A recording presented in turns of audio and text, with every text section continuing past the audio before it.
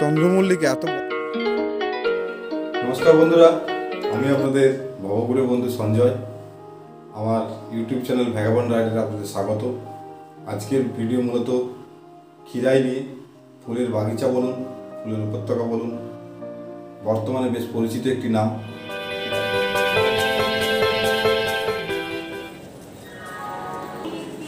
যারা কলকাতা বা কলকাতার আশপাশ থেকে আসতে চান তারা হাওড়া থেকে খড়গপুর বা মেদিনীপুর লোকাল ধরে এখানে আসতে পারেন লোকালের ভাড়া মাত্র কুড়ি টাকা। সময় লাগতে পারে দু ঘণ্টা মতো। এখানে নেমে খিরা স্টেশনে নেমে কুড়ি মিনিট হাঁটা পথে আপনি এই ফুলের উপত্যকায় পৌঁছাতে পারবেন। অনেকে আবার পাঁচকুড়া থেকেও নেমে আসতে পারেন। সেক্ষেত্রে পাঁচশো টাকার মতো টোটো ভাড়া লাগতে পারে।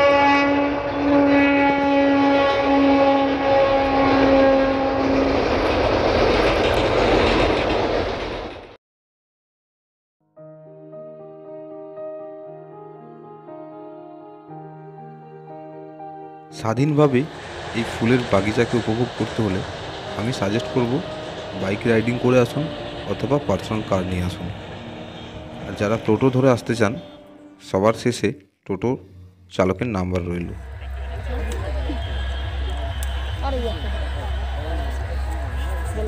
দিদি কত দাম এই থোকার দাম? তিরিশ টাকা। কংসাবতী নদীর দুই পাড়ে অনেকখানি বিস্তীর্ণ এলাকা জুড়ে এখানে ফুলের বাগান, অর্থাৎ ফুল চাষ হয়ে থাকে।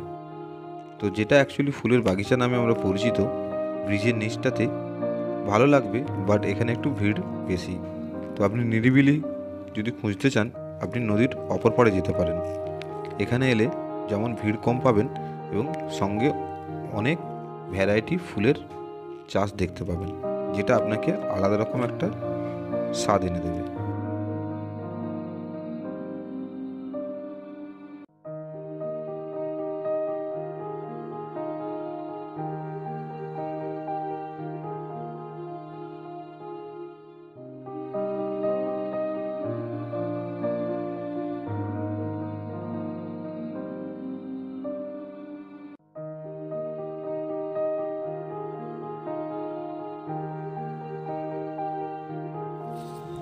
এটা খিরাইয়েরই একটা জায়গা বাট একটু অফবিট জায়গা। এখানে সবাই খুব মানে বেশিরভাগ লোক কমই আসে।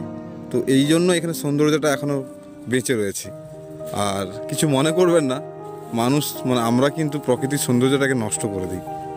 আর এই সৌন্দর্যটা দেখুন, এটা নদীর উল্টো পাড়ে। এতগুলো ফুল, চন্দ্রমল্লিকা এত বড় সাইজের একসঙ্গে আমি কোনোদিনই দেখিনি। তো হেভি লাগছে দুর্দান্ত একটা জায়গা। আপনারা দেখুন জায়গাটা দেখলেই বুঝতে পারবেন।